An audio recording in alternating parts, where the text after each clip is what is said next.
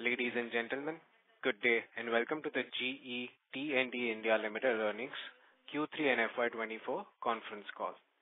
As a reminder, all participant lines will be in the listen-only mode, and there will be an opportunity for you to ask questions after the presentation concludes. Should you need assistance during the conference call, please signal an operator by pressing star then zero on your touchtone phone. Please note that this conference is being recorded. I now hand the conference over to Ms. Megha Gupta from GE T&D India Limited. Thank you, and over to you, ma'am. Thank you, Gaurav. Good evening, everyone, and a very happy New Year. We welcome you all to the GE T&D India Limited earnings call for the third quarter and nine months of the financial year ending 2023-2024. I am Megha Gupta from GE T&D India Finance and Investor Relationship team.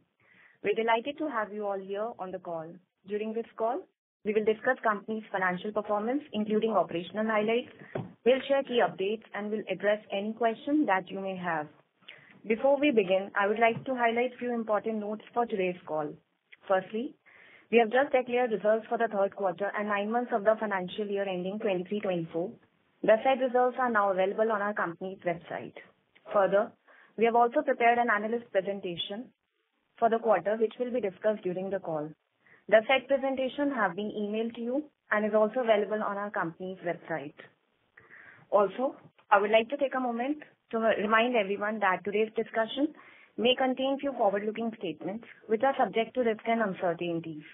These statements are based on our current expectations, and actual results may vary materially from those expressed or implied.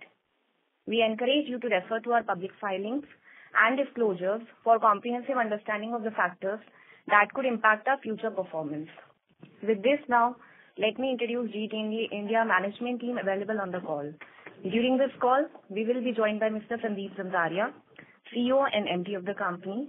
Along with him, we are also joined by Mr. Sushil Kumar, Whole-time Director and CFO of the company, Mr. Abhishek Srivastava, Head Business Operations, Ms. Kanika Arora, Communications Leader, Ms. Anupriya Garg, Company Secretary of the company. We will be having a dedicated question and answer session towards the end of the presentation, where you can ask your questions and seek clarification on any topic of your interest. Thank you once again for joining us today. We appreciate your continued support and trust in GE T&D India Limited.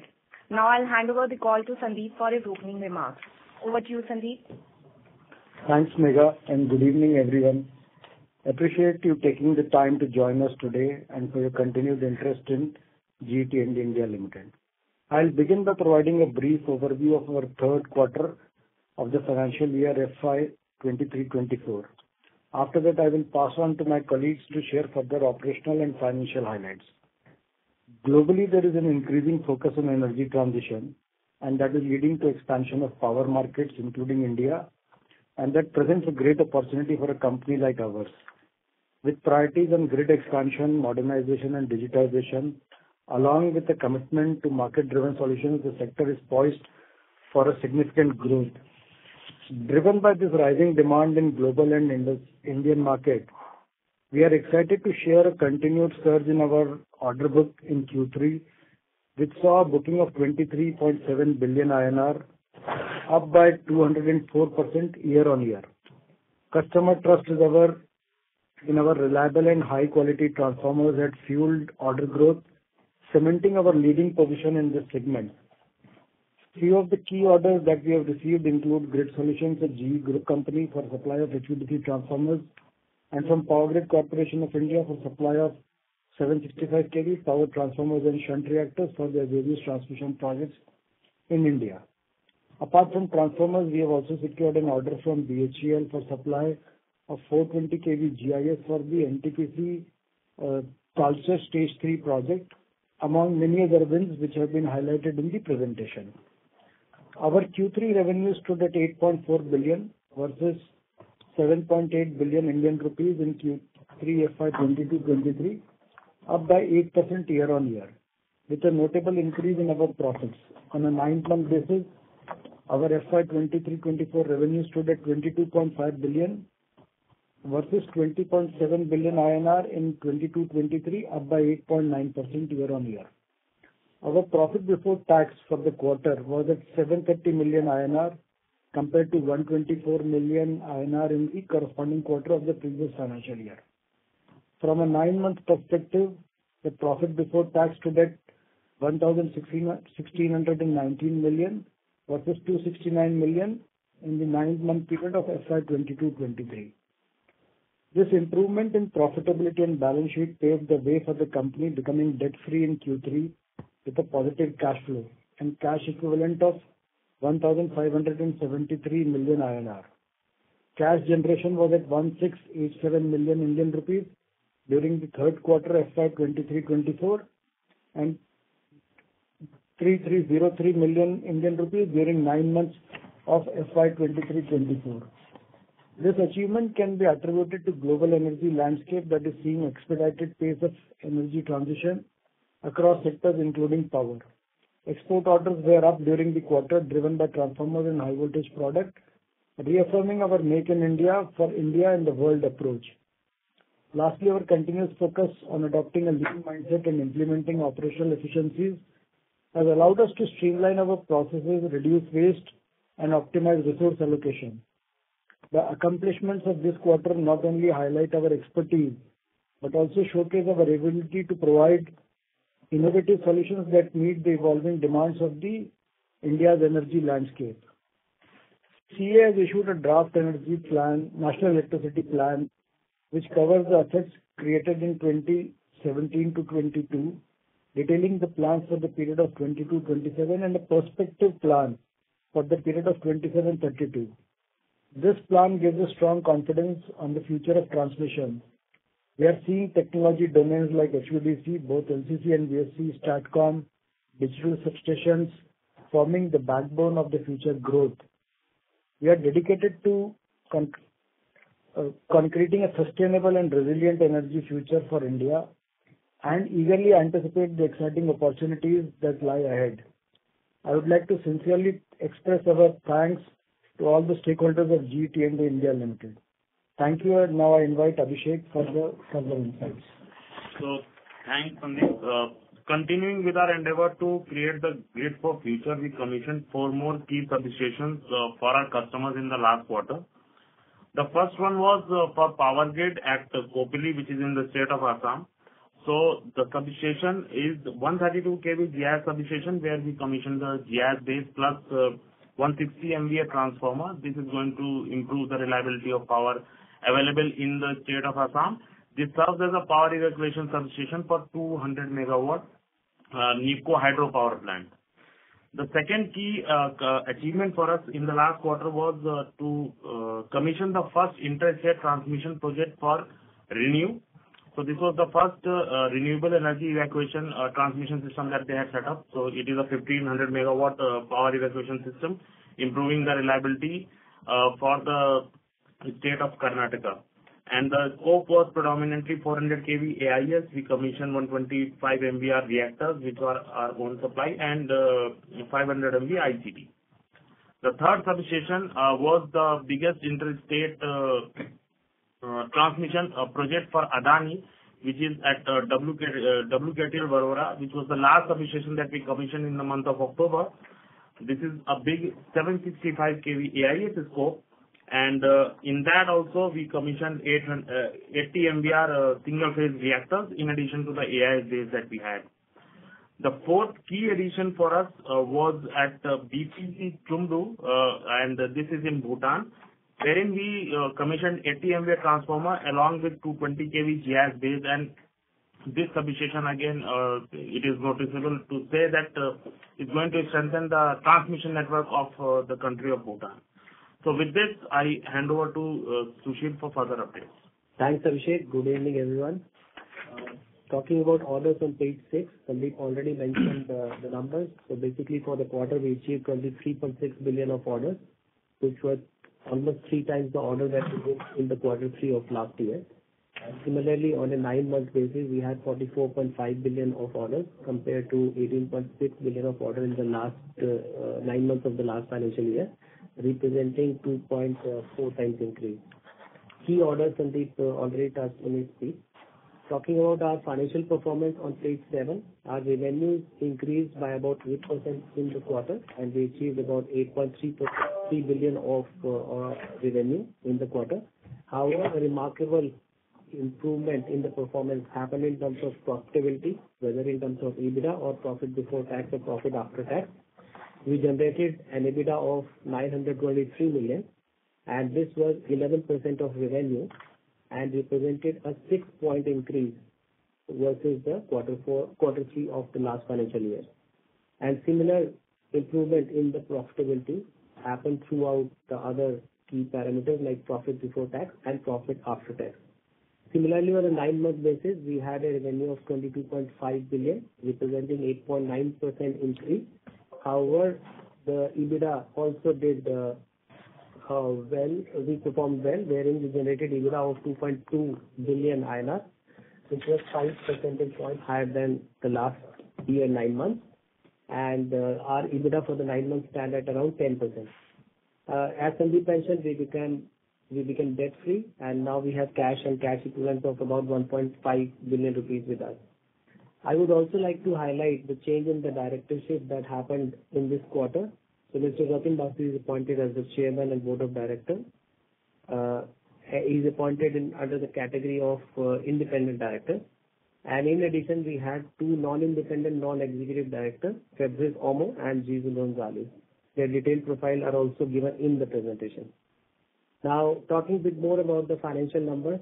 On page eight, we have given the split of order booking, revenue, and orders in hand. So, in terms of orders of 23.4 billion INR, 54% of the orders were received from the domestic market and uh, about 46% orders were from the export market. And this will really um, uh, highlight the shift that is gradually happening between uh, domestic and export market. We have basically increased our share of order booking more from the export market. Uh, revenue, 39% of the revenue for the quarter was from the export market and 61% uh, revenue from the domestic market. In terms of order in hand, uh, 72% of order in hand was from the private segment customers, about 20% orders from the central utility, and about 8% of orders from the state utility. In page nine, we have given some of the financial trends, how we are making progress in terms of our financial performance quarter-on-quarter. And every quarter for the last five quarters, we have been improving on almost all important KPIs. I will take a couple of minutes on the page 10. In today's audit committee and board meeting, the board of directors approved certain additional related party transactions. And since these are material related party transactions, these will require the shareholder approval. In the due course of time, we will send the postal ballot notice for the consideration of the shareholders. I will talk about these uh, three related party transactions now. The first one is LM Wind Power Blades India Private Limited. We have already sought approval of the shareholders to the extent of borrowing from the cash pool, GE cash pool from this entity for about 5 billion and an inter-corporate deposit that we can place for the surplus funds with this entity for 1.5 billion. As we mentioned, we already have about 1.5 billion cash, and our effort is to generate and produce more cash for the company in the coming quarters to come. We are seeking additional approval of 3.5 billion for uh, the inter-corporate deposit and lending to the cash pool, taking the total uh, lending limit to 5 billion INR. That's the one resolution in the postal ballot that will happen. The second and third are related to the increased volume that we expect from the export market through our group companies, mostly for our high voltage product business. So for Grid Solutions SAS and Grid Solutions Middle East, we expect, and we are in discussion with these companies for additional volume of about 10 billion INR. The expected timeline is going to be most likely Q1 of the next financial year. That's our aim. But uh, let's say next six months before the next AGM, we may have this 10 billion of order booking that we are negotiating. Uh and hence we'll seek shareholder approval for the same as well. In case the shareholders have any questions about these transactions, you are welcome to ask any questions. And with that, we'll now open up for the questions. Thank you. Thank you very much. We will now begin the question and answer session. Anyone who wishes to ask a question may press star and one on their touchtone phone. If you wish to remove yourself from the question queue, you may press star and two. Participants are requested to use handsets only while asking a question. Ladies and gentlemen, we will wait for a moment while the question queue assembles.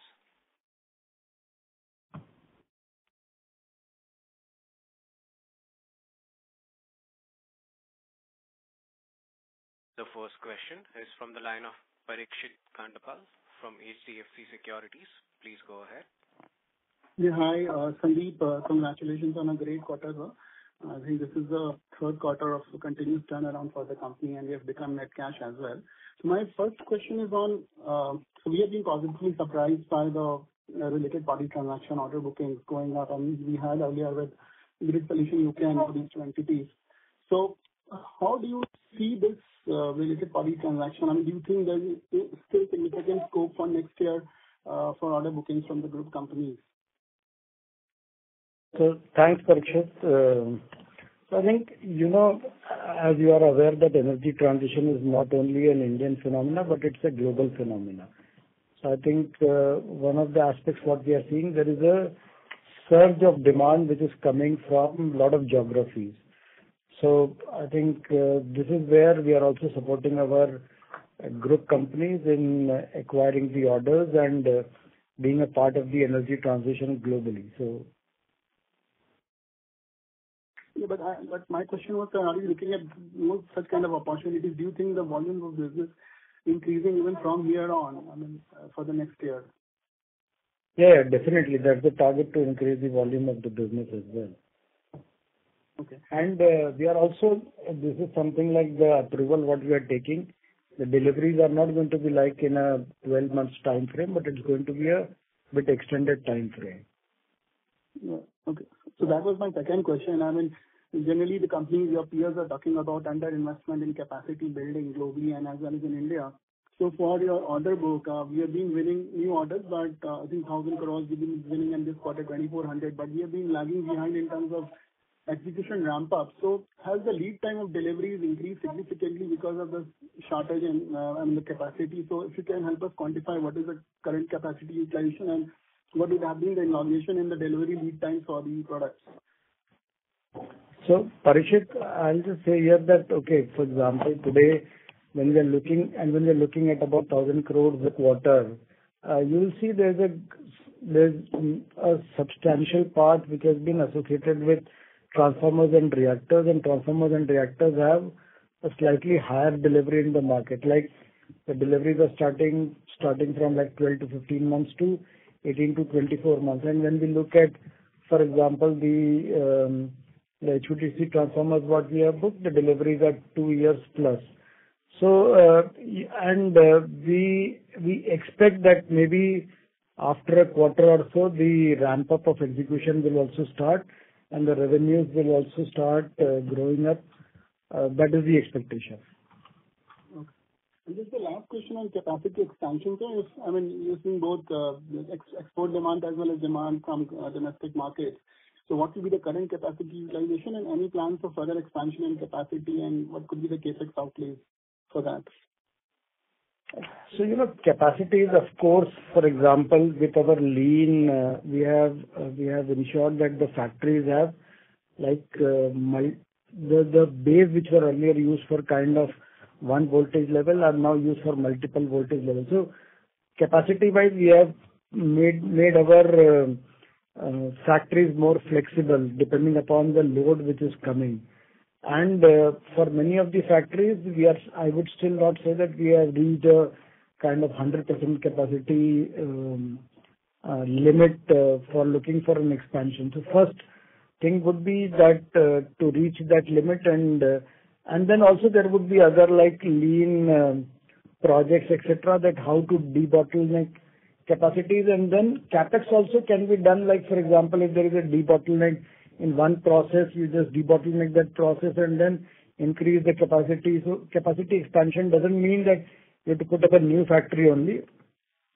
So based on the requirement and based on this thing, we are constantly evaluating and whenever there is something like that, uh, definitely, uh, we will be uh, taking the calls. Okay. Okay, sir. Thank you, and wish you the best. Thanks, Parikshit. Thank you. The next question is from the line of Mohit Kumar from ICICI Securities. Please go ahead. Good evening, sir, and thanks for taking the question.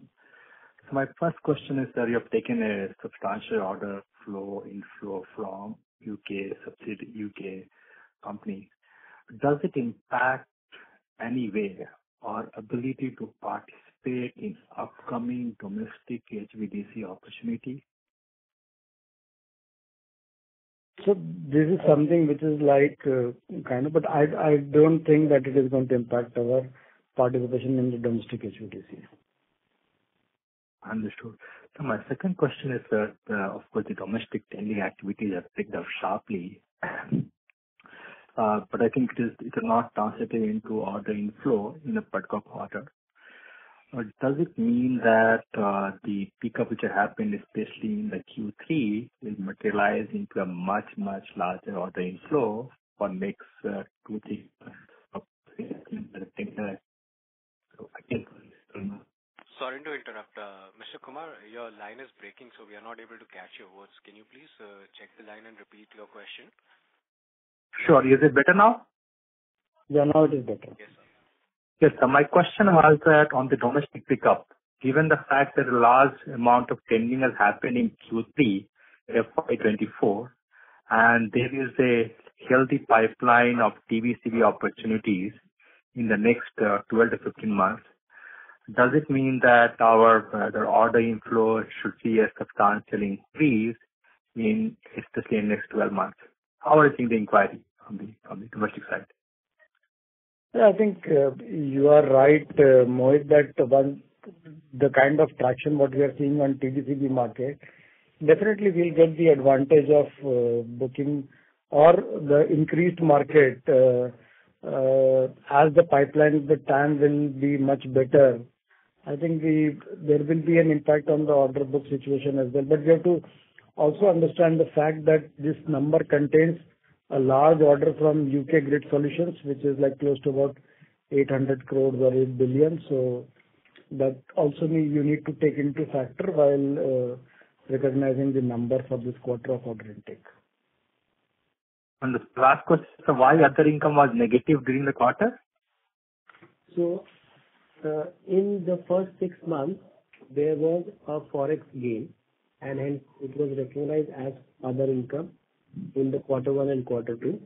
On a YTD nine-month basis, there is a Forex loss, and hence, to the extent of income recognized in the first six months, it has been reversed in the quarter, taking YTD nine-month number as nil, and the net loss, Forex loss in the nine months is recognized as other expense. So it's more an accounting of Forex, the way it works quarter-on-quarter. Understood. Thank you, and all the best. Thank you. Thank you, Mohit. Thank you. The next question is from the line of Abhijit from Yes Securities. Please go ahead. Yeah, good evening, sir, and congratulations on a very strong all-round performance. So my question is on the domestic execution front. What we have seen in the last four to five quarters is that the order inflow from domestic side has been strong relatively, but the revenue has declined, uh, especially if you talk about Q3. We have seen a 10% revenue decline in the domestic business. So can you comment on the uh, execution in the domestic business? What is impacting this kind of uh, slowdown? So, Abhijit, it is about the phasing of the project, the timeline when the customer give us to execute the project, and whatever project uh, timeline was there, we have executed on time.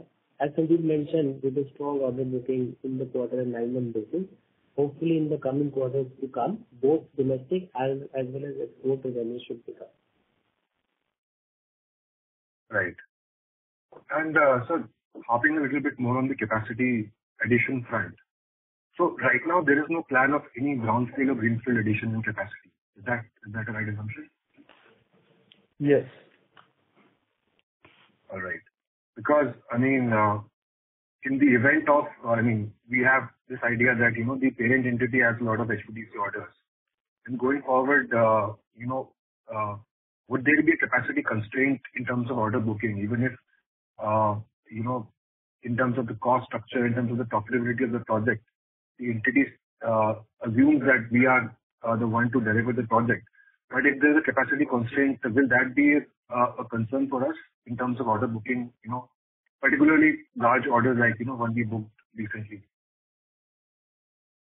No, I don't think that as of today, capacity concern, capacity mm, constraint has emerged in any way for us to book the new orders. Uh, when that when the time will come, probably we'll take a decision at that point of time. But uh, like for example, a lot of geographies, Uh, the order booking conditions, they come with their own respective conditions as well. So for example, maybe in the Western world, if the orders come with a uh, rider that you need to create local capacities, then probably capacities get created according to the customer demand as well. So I am just saying that, uh, basically we'll have to see the capacity creation depending upon the need. Also we are open to it, but today we have no concrete plans of doing it. Understood, sir. So just one last one. So, what is that criteria that, you know, the parent will decide to give a particular order to any entity out of the uh, the number of entities it has globally? So what would be that, those variables that, you know, go into this kind of a decision-making? So there are multiple variables, uh, Abhijit. For example, one, the first one which comes is which all factories or which all geographies are accepted with the customer. That is the first one. Second thing, um, is also the capacity which is available, which matches the timeframe of the project execution as well.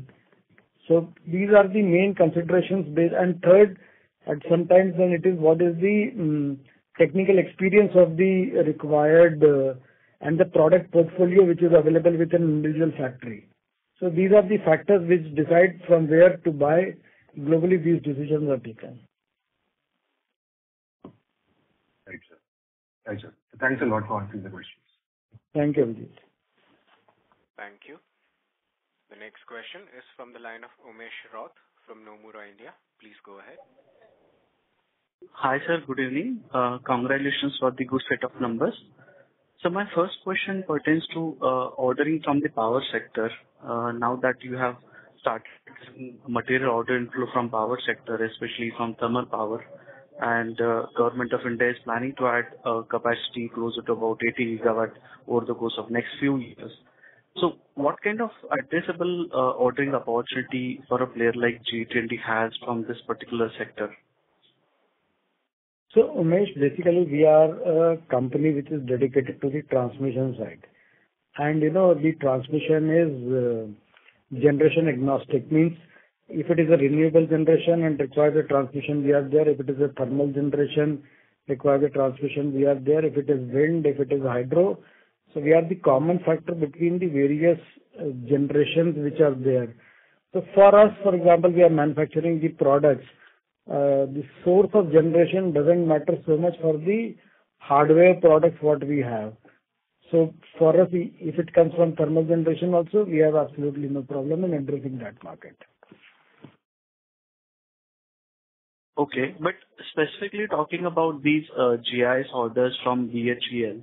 So uh, how much of total, say, capital outlay this could be in terms of percentage of, Uh, say, total cost for the uh, power plant? How much of opportunity that uh, you can cater in terms of addressable market?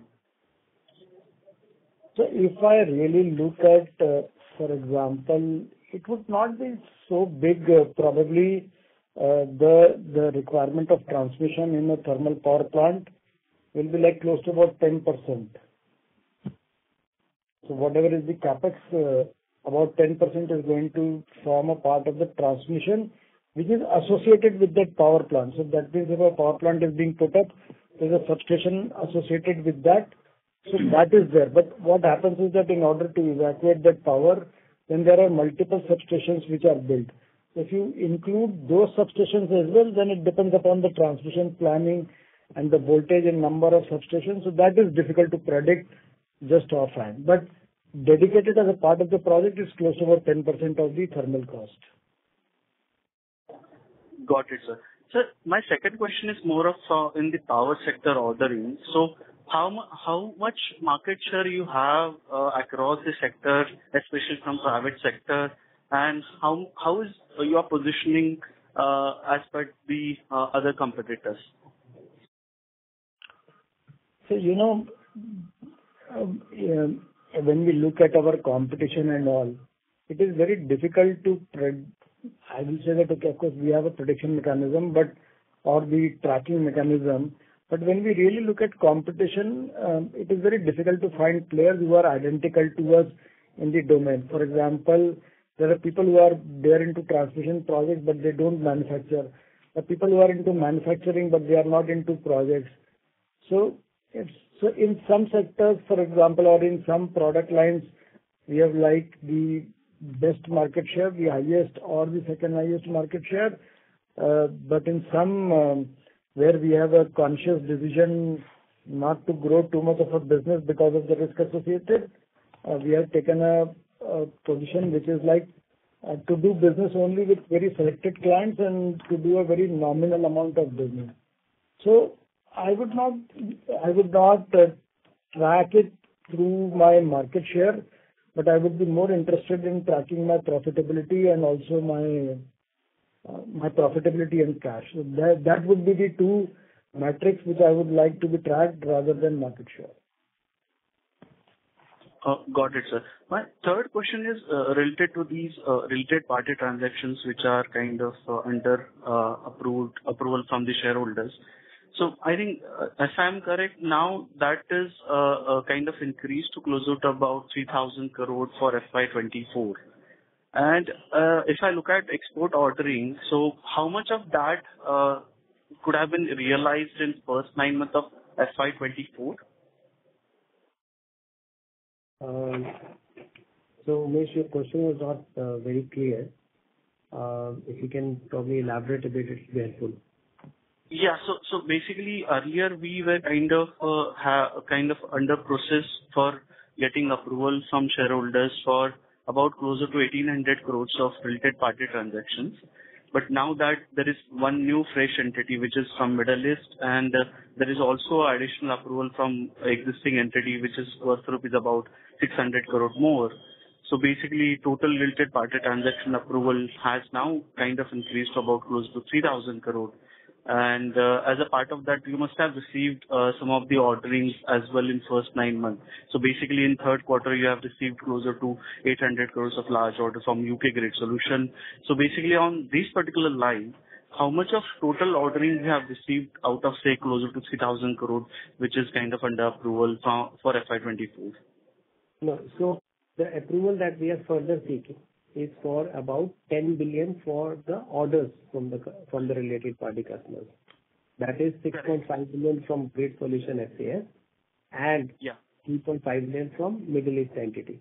Now, these 10 billion are expected to come, as I mentioned, the timeline is from March to August before the AGM. And most likely that we anticipate if we are able to win this deal, it will be the quarter one or quarter two of the next financial year.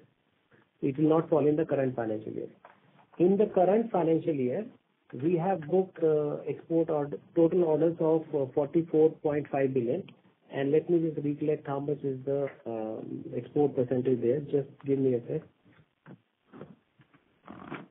Um, maybe we park this question and I come back to you in a minute about the total uh, export order and how much of those are related to the group companies. Sure, sir. Sir, my last question is pertaining to uh, localization. Uh, can you please throw some light on key products like GIS substation or uh, maybe switchgear, high-voltage switchgear, what kind of localization you have currently? And as compared to other uh, group companies of GE located across the globe, how Indian arm is kind of comparatively placed as compared to on the on the lines of localization? I think, Umesh, basically, you know, localization is a process. It's not something that like you reach at one point and then you stop it. So for example, when for the products which we offer, for example, I'm looking at circuit breakers and instrument transformers, there the localization would be in excess of like 80%-85%. So that is the thing. Uh, other thing, for example, GIS and all, we have a pretty high Uh, pretty high because GIS also what happens is it depends on the different voltages, the different uh, localization factors come into play. But because we were the first to put in the GIS factory, we are kind of leading the localization uh, in India. And it's a constant effort to keep on developing sources. But I can say that for GIS also various ratings, it would be in the north of like 60%-65%, something like that. Okay. And uh to answer to your question on the order booking side, the total nine months we have booked about 44.5 billion of orders. About 32% of these orders are from the export segment, which takes the total order booking from the export uh, market to around 16 billion, uh, roughly. Out of that 16 billion, 12 billion orders are from the group companies, including the 8 billion of uh, the U.K. HVDC transformer order. So these are the numbers for nine months. And uh, for the financial, if you want to see the financial year, we'll have uh, further order bookings from the related party as well as third parties in terms of export segment for the quarter four. Got it, sir. Thank you so much. All the very best. Thank you, Nimish. Thank you. The next question is from the line of Subhadip Mitra from Nuvama. Please go ahead. Uh, good evening, and thank you for the opportunity. Uh, so my question is uh, on the exports front. If I have to kind of break down the market sizing of both, let's say the export market that you're looking at, let's say over the next one to two years, and the domestic market, would it be possible for you to give us some color on that? No, Subhadip, it is very difficult to give a number for the export market and all, uh, because, you know, that's a very large, that's like a global market we are talking about. I understand. So, let me ask this in another fashion. So if I, uh, you know, were to gain some color from you in terms of how much of export order inflow or uh, sales would you be targeting, let's say, over the next two to three years? I think let's look at it differently. For us, whether order is from the domestic market or from the export market, we choose the one which is giving us a better profitability and a faster cash generation. We have been talking about selectivity in last couple of years, and that strategy has played off. We have seen improvement in the financial numbers. We have seen improvement in the order booking numbers, both from the domestic as well as export segment. So wherever we get the right opportunity to increase our profitability and cash, we choose that order. Understood. Understood. So on your current capacity base, uh, you know, your current capacity can support how high a turnover? Would that be uh, another way of looking at it? So, Subhadip, it is, you know, uh, it will also depend upon product mix, voltage mix, business line mix. So this is not a kind of a direct answer to it, uh, that okay, this is the kind of turnover that we can support or I can. Uh, I'll give you different uh, explanation on this one. See the peak revenue that we generated, I think the year 2018, 2018 and 2019 was to the range of 42 billion-44 billion INR. At present, we are running at a rate of, say, 30 billion INR. Capacity is the or the volume is coming not only from factory but the turnkey business. Suppose we win an HVDC project, that just need to add more people, more engineers who generate revenue and profitability.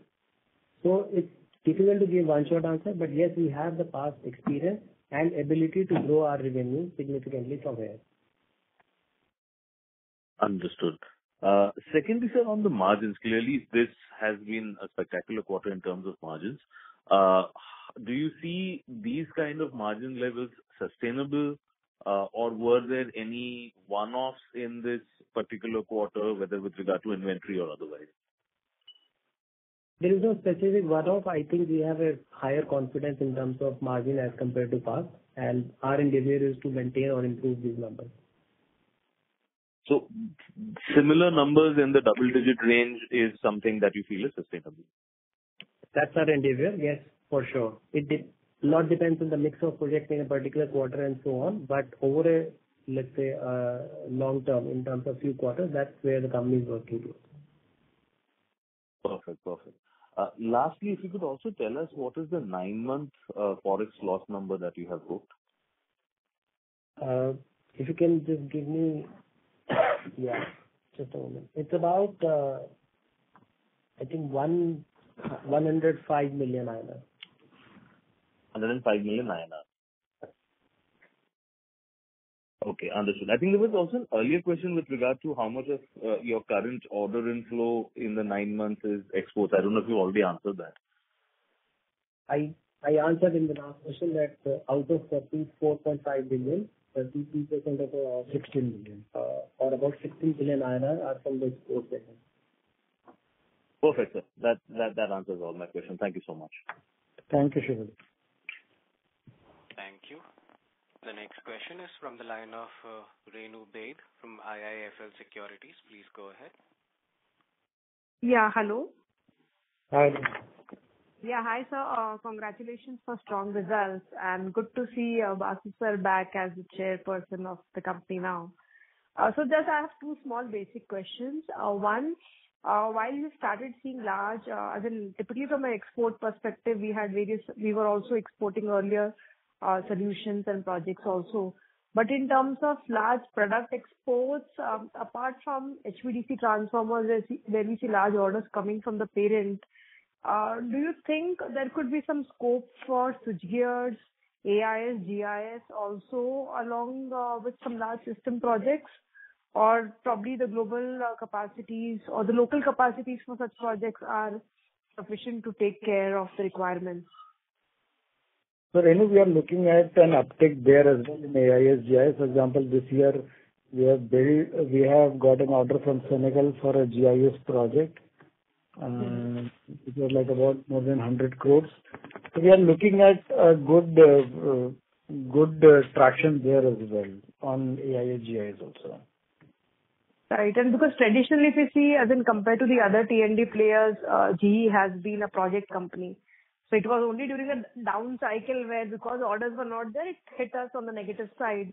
And now when the growth is back, both products and projects should help drive that extra Um, beta in terms of growth rate for us. So uh, the second question is, um, just from an academic understanding perspective on the transformer part of the business, um, if you can just help us understand two small things. Currently, what is the rated transformer capacity that we have? And uh are we operating on two-shift, three-shift basis? And YTD at the end of December for 12 months on a TTM basis, et cetera, what is the approximate utilization level based on the two-shift or three-shift that we're running our transformer capacities? I will not put it as a MVA capacity kind of thing for transformer, uh, Renu. Primarily because if you, for example, if you manufacture, I'm just saying, HVDC transformer. HVDC transformer offers 300 MVA might be more complex and would be equivalent for maybe like, a uh, 700 MVA type of a normal Uh, transformer. So it's very difficult to actually put because a lot of things play uh, in there that whether it's a 765 kV single phase, 400 kV three-phase, and there are multiple uh, factors which play into it. That we totally appreciate because the volume and the mix will anyway bring in 20% kind of volume differential from same capacity, depending on the type of orders executed. It's pretty difficult. And then reactor capacity different and then transformer capacity different.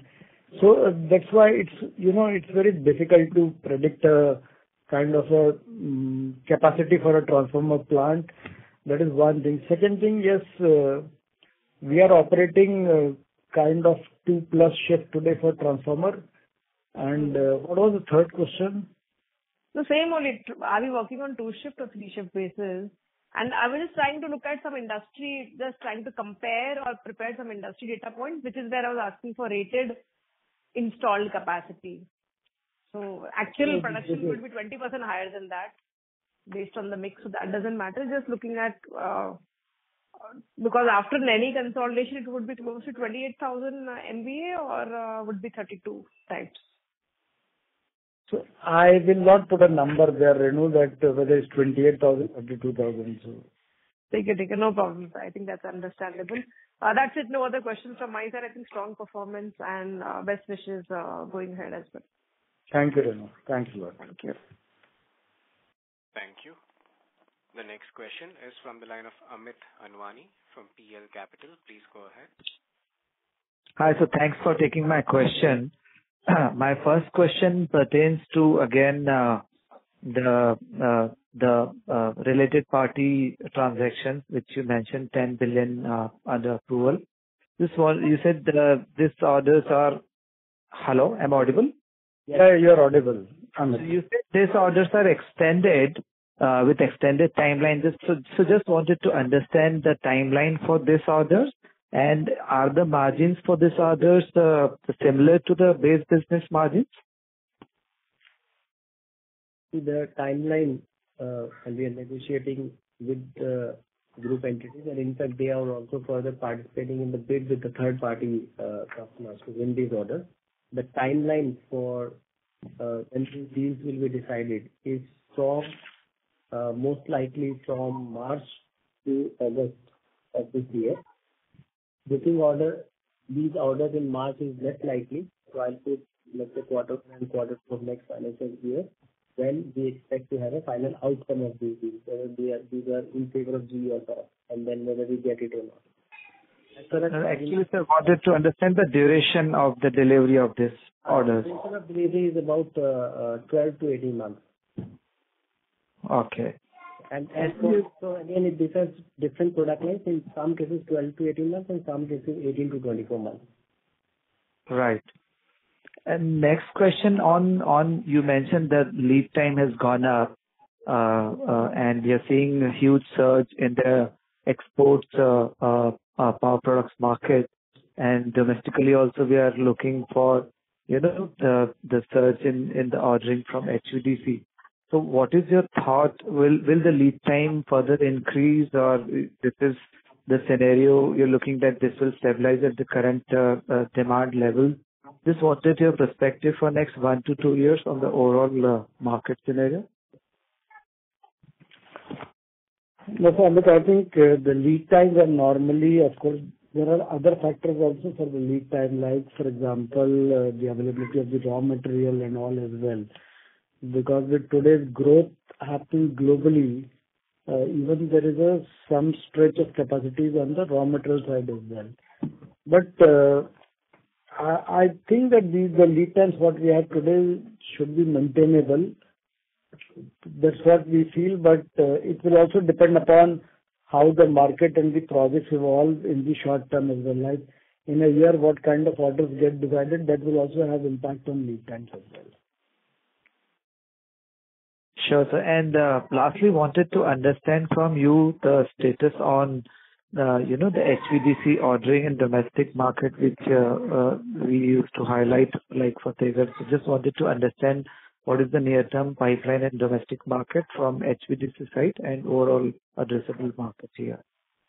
So there are three projects which are there, which are being floated by the TBCB as a developer. So one is Fatehgarh Bhadla, and two projects are from Khavda.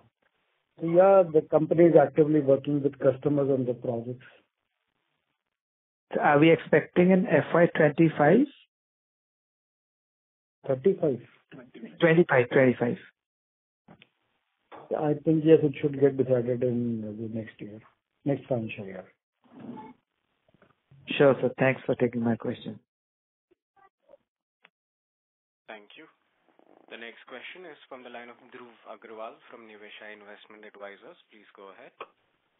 Yeah. Hi, sir. Good afternoon. Good evening, sir. Sir, congratulations on good set of numbers, sir.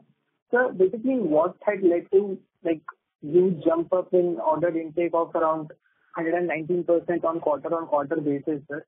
Like, from which sector are these major orders came from? And like, going ahead going ahead, from where do you see the major traction coming from, sir?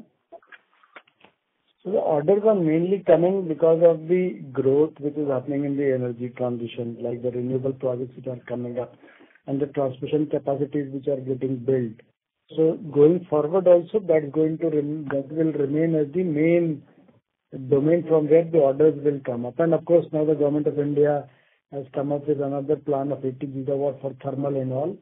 So it's basically the increase of generation capacity, associated transmission network, is the orders what we are getting. Okay. Uh, like, sir, one more question related to that only. As the government has increased the investment outlay plan of like rupees 2.44 lakh crore to 4.75 lakh crore for integration of over 500 GW renewable capacity. So what kind of demand we can expect the transformer would contribute? And out of the state transformer demand, what share would company be able to cater to, sir? So you know, it is a bit difficult to quantify the numbers in that value because that's a complete transmission plan that requires right of way, transmission line cost, substation cost, transformer cost, voltages, HVDC. So there are a lot of combinations which are there. It's difficult to predict a transformer market out of that. Sir, market share, can you please quantify, like if you can give some color? No, market share we will not quantify, Dhruv. Okay. Okay. Right, sir. Sir, like what kind of EBITDA margins we can expect in coming, let's say, like in 2024, 2025 and the revenue guidance, sir, as well? So generally, Dhruv, we don't uh, give a revenue guidance or margin guidance as a specific number. As I mentioned in the call, we have a significant uh, uptick in the order backlog. Now the order backlog is about 58 uh, billion plus INR. So, this should give us a increase in revenue in the quarters to come. And in terms of EBITDA margin, as I mentioned in the earlier question, that on a nine-month basis we are generating an EBITDA of 10%, and our endeavor is to maintain and try to improve this further. Okay. Fair enough, sir. Like like last one question, sir. Like if you compare the sales growth on year-on-year basis, it has increased by 8%. In and the EBITDA numbers, if we compare on year-on-year basis, it has increased by 110%. Sir, why it is so, sir? Like, is there any increase in fixed goods prices or reduction in the raw material prices? Can you please specify that, sir? It's a combination of many factors. And the first and foremost, we have taken many, many internal actions to strengthen our business. The first uh, theme that we talked in the last two years was the selectivity. And we have been very selective in choosing the deals with less risk, better profitability and faster cash generation. The second is internal productivity in terms of lean that Sandeep talked about. Third factor is the control over cost. And the fourth is the mix of the business. We are doing less of the turnkey business, which has, uh, let's say, higher risk and low uh, margin. And we are higher on the product business and also on the export side. The export business gives better profitability. So all these different combinations have worked well for us to improve profit significantly. Okay.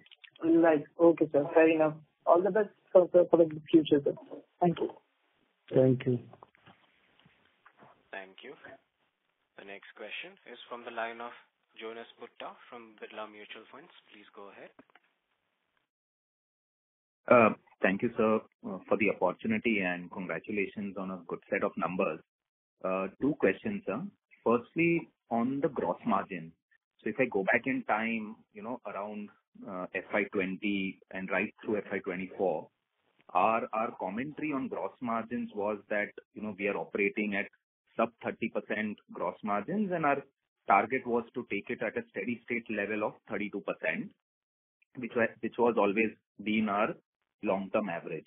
Now, for the past two quarters, we've sort of clocked about 36 odd percent, %, and which you've, you know, sort of uh, alluded to, you know, is is a factor of mix, uh, et cetera. However, you know, given the current order backlog of 58 billion rupees, do you believe that the mix is such that these levels of margin, so this these are the new normal margins, at least in the current backlog? Because most of these orders, ever since we've changed our strategy, these orders would have come in the last four, five quarters and, you know, they are all reflective of a substantially higher gross margin than our long-term average. Yes. So as I mentioned earlier as well, and we have been communicating for a couple of years about focus on profitability and cash generation. You're right, uh, that we are booking orders at sub-30, and the endeavor was to take it to the range of 30%-32%, making improvement in execution over the order booking volume.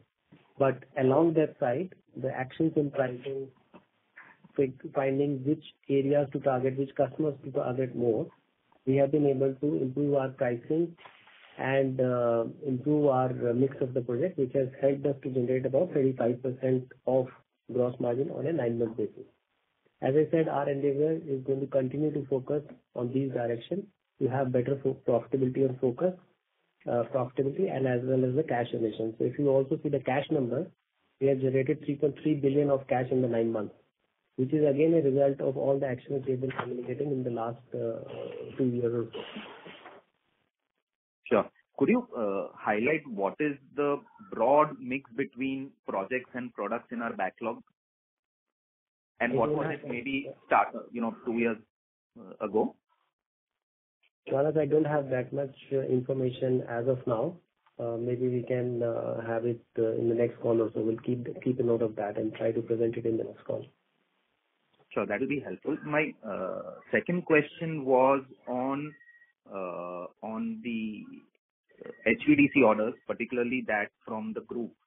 Uh, is it so that as in, you know, the if the same sort of orders were executed for a domestic client, and the kind of imports that were required, you know, has there been a material change? So, you know, point being just an example.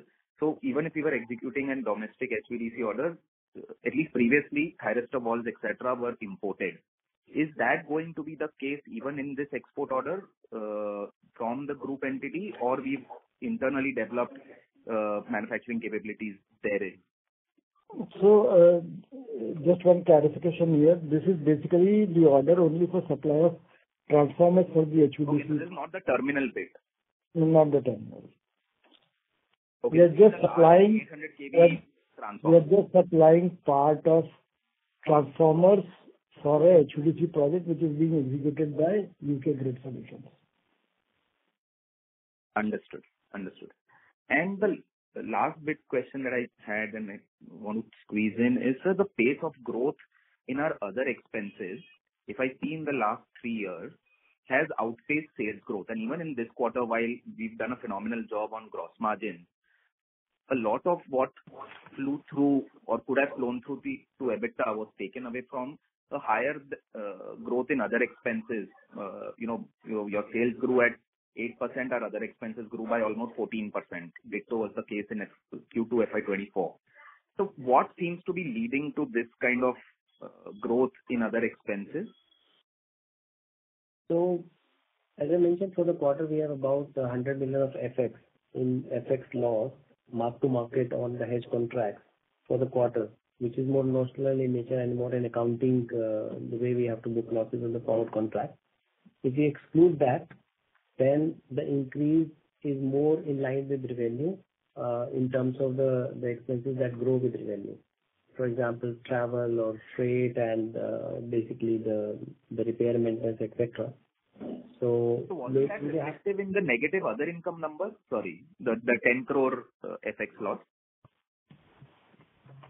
So for the quarter, we had about 15 crore of Forex loss. But for the first six months, we had recognized 5 crore of income in the other income. The way accounting treatment or the representation happen in the financial statement, that this quarter loss of 15 crore is first 5 crore is offset against the other income because it was taken, 5 crore was the gain taken in the first six months.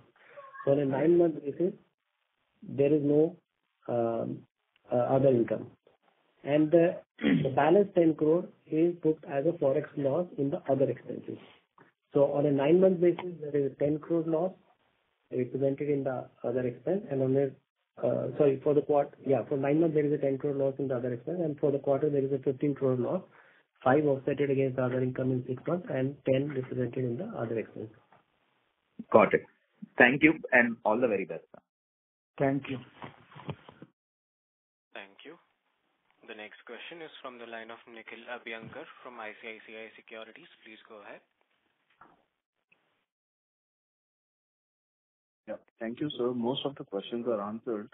So basically, I want to understand, do we qualify for all the tenders as far as indigenous value addition is concerned for HVDC and STATCOMs? Just one, um, I'd like to answer that way, that even in Champa-Kurukshetra, a large part of the HVDC, which included thyristor valves and transformers, was delivered by our local factories. So we are qualified actually for uh, these bids. Okay. Uh, Sir, is there any uh, addressable market for RDSS scheme opportunities? Yes. We have an addressable market for RDSS scheme, and in fact, in this nine months we have booked few projects which are not of a big value because RDSS schemes have multiple scope in it. So normally our digital business is supporting. So in a RDSS project, our digital offering is close to about somewhere in the range of close to about between 10%-15% of the overall project cost. So, those orders have been booked by us during the first nine months. Okay. Those are orders. What is usually the what is the execution time of these orders? I think because we are doing the software piece of it, so I think it should be somewhere between 12 to 15 months. Okay. Understood. Sir, sequentially, earlier in the call you mentioned margin is a function of mix and operating leverage. So sequentially our EBITDA margin has improved to 80 basis points. Will you attribute it to better product mix or uh, higher utilization? Both actually. Mix as well as uh, mix of projects, mix of uh, different product lines, and as well as uh, execution of uh, projects with better margin. Okay, sir. Understood. That's all from my side. Thank you. Thank you, Nikhil. Thank you.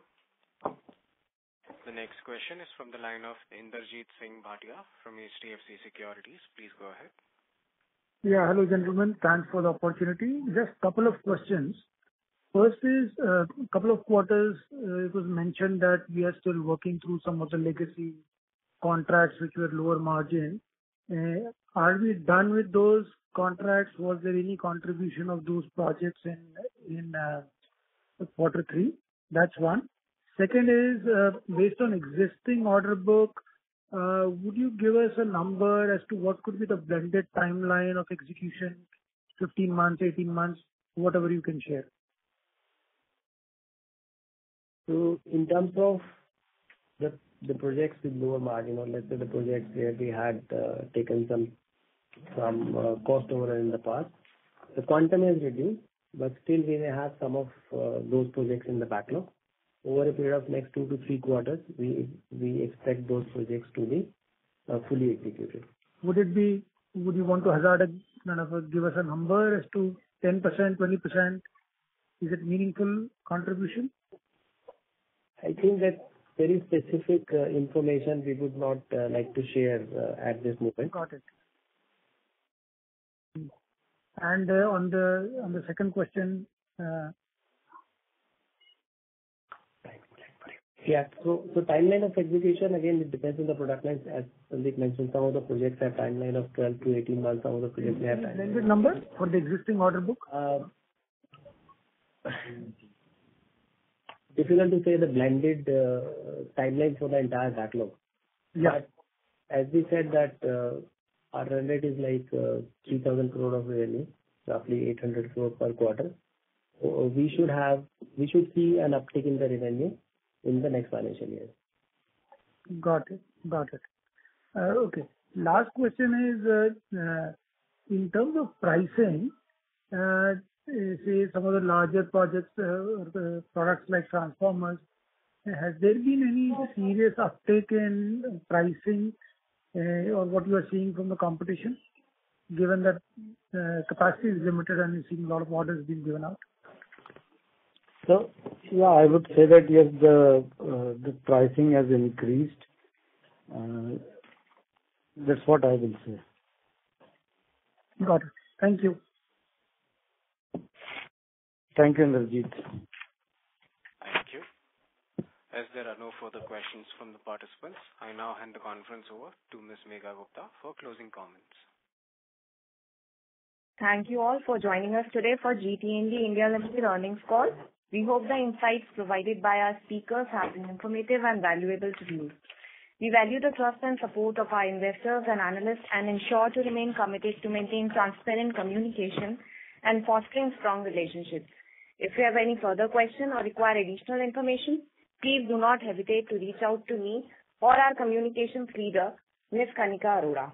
Once again, thank you so much for your participation. We look forward for your continued support as we embark on an exciting journey ahead. Thank you. Thank you.